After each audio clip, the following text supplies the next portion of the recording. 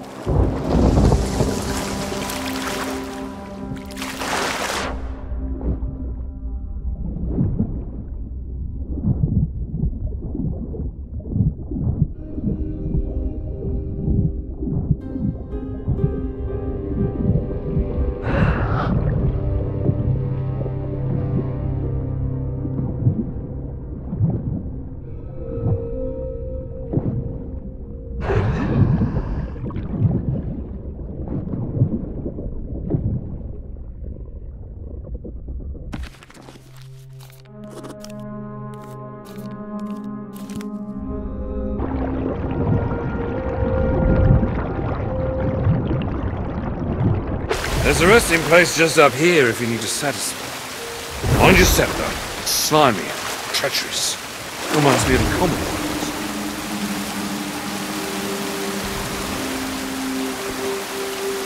Ah! Did you see me swim straight through that door? Wonder if I'll come into possession of any other ghostly talents. It's no good. I can't move things with my mind. Shame. What about... No, that doesn't work either. Would have been great fun, though. It seems my newfound skills are limited to turning invisible and walking through walls. Once I get my treasure back, I'm heading straight to the nearest bank vault.